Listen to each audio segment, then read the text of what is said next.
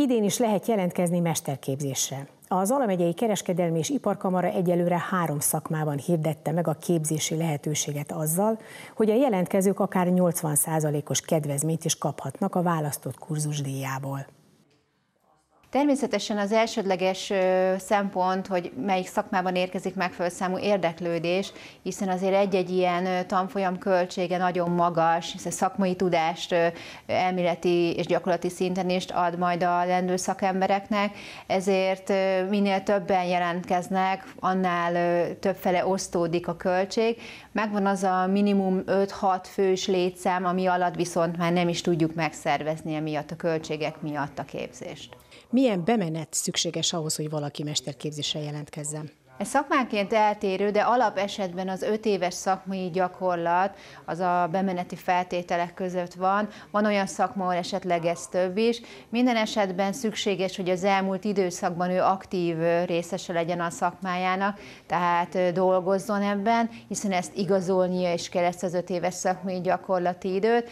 Emellett természetesen hát az alapszakma tudása az szükséges és a végzettség, de alapvetően azért is szeretik a mesterképzést a szakemberek, hiszen itt nem csak pedagógiai és vállalkozásvezetési ismeretekről kapnak tudást, hanem szakmai elmélet és gyakorlati részből is bővíthetik az ismereteiket, és ugye hát sok szakma esetében ez a legmagasabb iskolai végzettség, ami megszerezhető. Milyen óraszámmal indulnak a programok?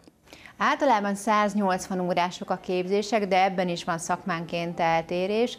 Ebből ugye pedagógia, vállalkozásvezetési ismeretek, szakmai elmélet és szakmai gyakorlati ismeretek vannak. Összességében 3-4 hónapot vesz igénybe, ugye a képzés intenzitása azért attól függ, hogy a csoport milyen tempóban tud haladni, de azért ez heti egy-két napos elfoglaltság biztosan a részevők számára. Milyen kurzusokat indít most a kamara? Jelenleg amiben látjuk a lehetőségét az indításnak, hiszen ebben vannak jelentős számú érdeklődők, az elsősorban a kozmetikus szakma, az autószerelő szakma és a gázszerelő szakma, de természetesen a másik szakmákban is várjuk az érdeklődést, hiszen ott is egy-két fő már jelezte szándékát, viszont amit említettem, ez ugye nem elég egy képzés indításához, de ha lesznek esetleg más szakmákban is érdeklődők, nagyon szívesen indítunk ezekben is képzést és vizsgát. Milyen finanszírozási lehetőségeik vannak a jelentkezőknek?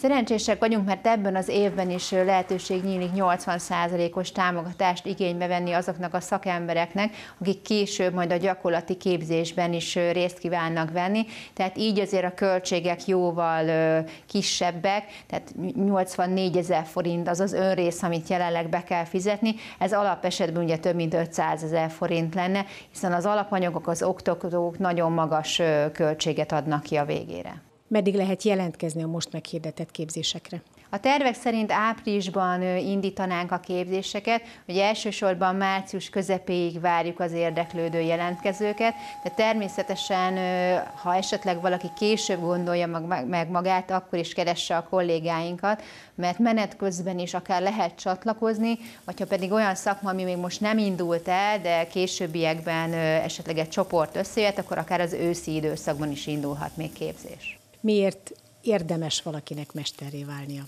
Amellett, hogy ugye nagyon sok szakmában például az önálló tevékenység megkezdésének az egyik feltétele, de az alapvető talán az, hogy ez egy presztízs, egy olyan pluszt ad szakmailag, amit nyilván máshol nem lehet megszerezni. Nagyon sokan büszkék arra, hogy például a falukon kint van a mester címük, a mesterlevelük, hiszen ez szakmailag egy újabb elismerés számukra.